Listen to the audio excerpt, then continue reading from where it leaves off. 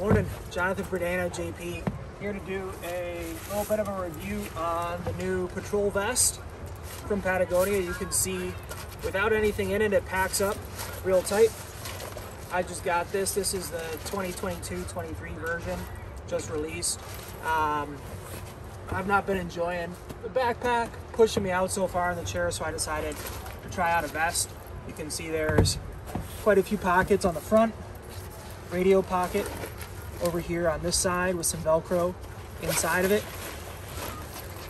On the bottom part of the front, two big pockets, a little bit of a place to stick your hands on the inside here. On the back side, there is a pocket which can be accessed from the top or the side.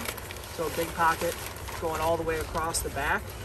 And then on the bottom, there is a separate pocket on the inside. So let's show you what the inside looks like. When you open it up, on the bottom inside, there's a zipper right there, which goes all the way up the back. All the way up the back, which is separate from that back pocket. Then there's also some stow pockets on the inside, both on the left side and the right side. So that's kind of what the pockets look like. All right, so first impressions. Um, there were some things that were mountain bike related that I was using this summer in my backpack that I didn't put in the vest. Um, but you can see like the backpack definitely takes up a lot more space when you're trying, when, even when it's empty. Um, so I think this will be a little bit less room in my bag when I go to put it away. Um, one of the things I didn't like about the backpack was just that radio. There is a radio clip right here on the new one. Um, and so that's nice. Taking the backpack off, I clip the radio onto the backpack and then when you take the backpack off to get stuff. another nice thing that I just noticed is you're able to get stuff. Um, so I've got some snacks, some tools in this pocket, heat warmers.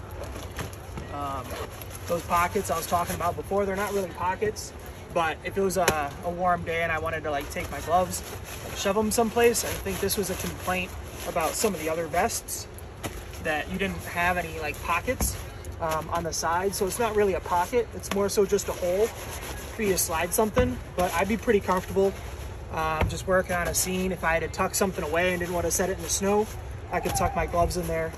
Um, the pockets are pretty nice. You're able to get in and kind of see what's in there tucking the stuff in. I'm able to get into all the pockets. And then in the back, I put, uh, we'll see how comfortable this is, um, but in the back I put, you know, a little splint board, chicken wire, duct tape uh, board. Um, so I've got that on the back right now with, uh, I've got a bag of bed sheets in the bag that it came in. So that's also in there. Um, just right now, I just you know, it's kind of taken the whole weight and spread a little more evenly. Um, I wear an extra large jacket and I ordered the extra large size vest and I'm pretty happy with how all this stuff fit in from my backpack into the vest. Um, you know, I got to go through it. It's the beginning of the season and double check that I got everything that I need. Um, but overall, with how this stuff fit, I'm pretty happy with it so far.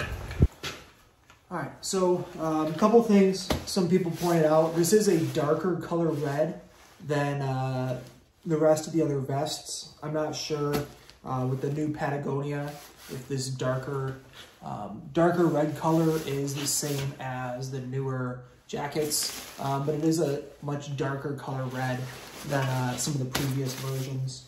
Um, the pockets, stuffing stuff there is nice, and then I ended up taking my split and using that center one up the back.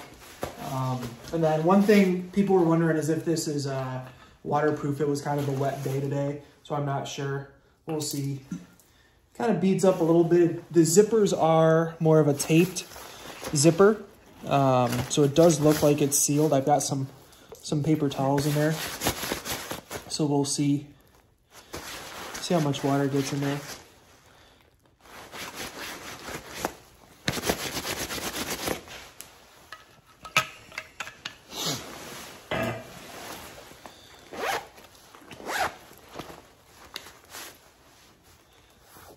Paper towel seems pretty dry, so at least resistant for a little bit of water.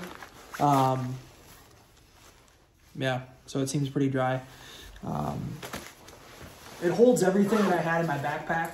Um, not really sure where stuff is gonna go, uh, but for the first day having it, I kind of moved. There's some Velcro inside of here, um, so you can see that Velcro. And there's this little strap inside, so if you want the radio to be a little bit higher up, you can move that around. And then this other chest pocket, they've got some Velcro here on the cross. Um, I've got some pinned um, badges for my old jacket. Um, so I'm not sure if I want to pin this or get some Velcro stuff for that. Um, but this chest pocket was kind of nice for little tools, pens, note-taking stuff, having your flashlight quick and easy, accessible. Um, so I've got kind of tools there and then medical supplies more on the bottom with the bandages. It does add a, uh, a little bit of kind of around the belly a little bit.